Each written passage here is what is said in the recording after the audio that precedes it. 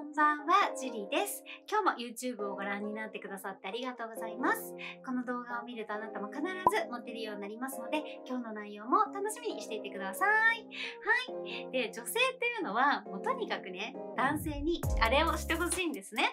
でも意外と簡単してくれない男性が多くて、なんだよって思ってる女性が多いです。なので今日はあなたが女性がしてほしいあれをしてあげられるように、女性はあれする男が好き、女性が、えー惚れてしまう男性の行動5選というお話をさせていただきたいと思います。この動画いなって思っていただいたら、チャンネル登録と高評価の方もお願いします。概要欄から LINE のお友達を募集してます。こちらお友達になっていただいた方には、3つのホテル動画を無料でプレゼントさせていただいているのと、私と直接お話ができるご案内のお話もさせていただいてますので、よかったらお友達になってください。はい。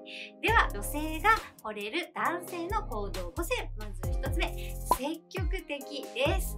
女性はね、なんやか男性に積極的にいろいろやってほしいです。デートも誘ってほしいし、えー告白もしてほしいし、何かプランを立ててほしいっていう女性も結構多かったりします。もちろんね、女性がプラン立てたいよっていう人はそれはお任せしてもいいと思うんだけれども、男性にリードしてほしいなって思っている女性は結構たくさんいるんですよね。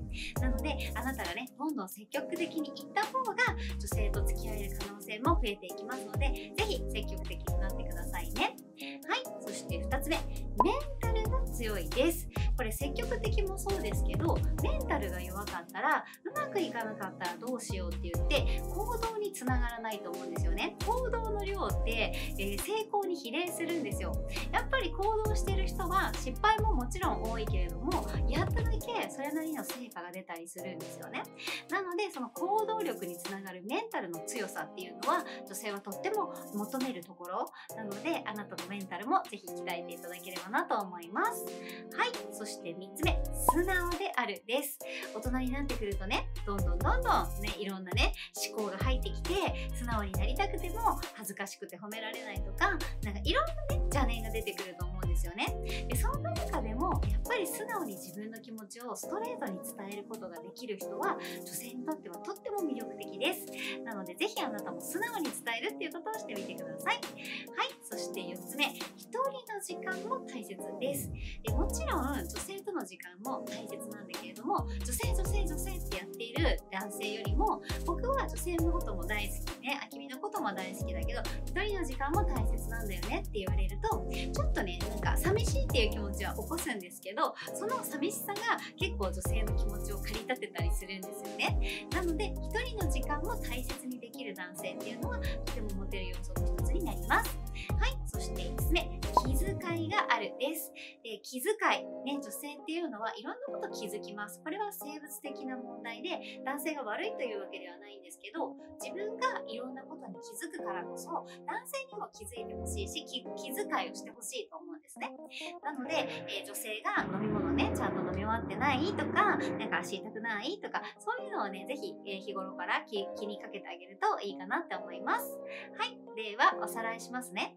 女性が惚れる男性の特徴5選。まず1つ目、積極的である。2つ目、メンタルが強い。3つ目、素直である。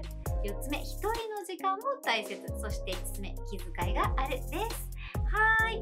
では、今日のおしゃべりコーナー行きたいと思います。えっ、と、どの季節が好きですか？春夏秋冬、どの季節が好きですか？ぜひコメント欄にアウトプットしてください。理由もあると嬉しいです。私は圧倒的に夏です。最近ね、なんか朝晩結構しかったりとかして、ちょっと寂しいなって思うんですよね。なんか10月過ぎぐらいまで暖かければいいのにななんて思ってたりします。で今年はね、海っていう海っていうところな感じで海は行ってないんですけど、まあでもこれからでも行けるから行こうかなとは思ってます。はい、海が好きだし、あとなんかね、半袖服装が好きです。冬っていっぱい着なきゃいけないから、なんかめんどくさいなって思っちゃう。はい、そんな理由で夏が好きです。皆さんはどの季節が好きですか？で、概要欄から LINE のお友達とメッセンジャーのお友達、そして無料のオンラインサロン、クラブハウスのお友達を募集してます。たまにやるゲリラライブのご案内だったりとか、YouTube よりももっと詳しい話のご案内、私と直接お話ができるご案内もさせていただいてますので、よかったらお友達になってくださいね。はい。では、今日も一日お疲れ様でした。ゆっくり休んでくださいね。また明日